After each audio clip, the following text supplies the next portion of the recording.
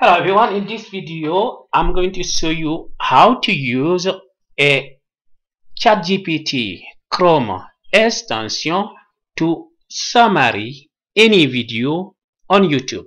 So this is another lovely tool as you can see it here. As you can see here. So this video it doing the summary of whatever this guy talk here very lovely. So uh, you can see as you can see you can copy it. So I'm going to show you how to do it with a Chrome extension called YouTube summary. Okay? So let's start. Go to Google and look for YouTube summary with ChatGPT. As you can see it here. So the first link that say chrome.google.com you click here.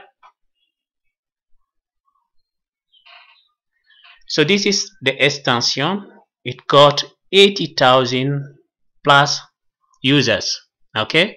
So all we're gonna do is to click add to chrome.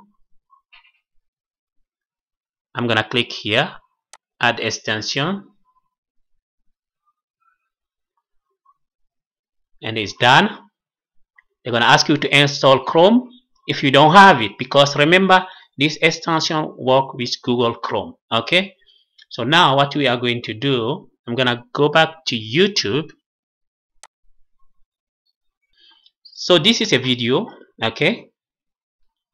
As you can see right now Mark is talking okay? If you want to see everything he said you can just click down here transcript a summary. People side it might come on the right side. Let me change here. Yeah so if I change the resolution of my video you can see the transcript is coming to the right side here. If I click here you got everything here and they say it was generated in English. You got everything. If I click here it's gonna tell me where is exactly he is talking to.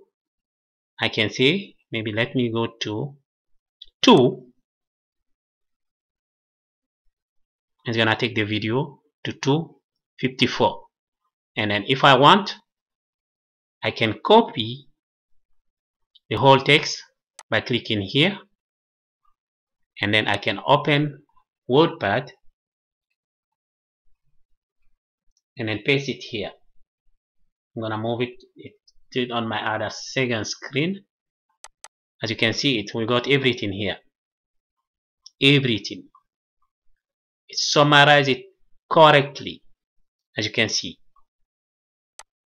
You can see. Okay? I hope this video will have some of you easy need. Please don't forget to like it share and subscribe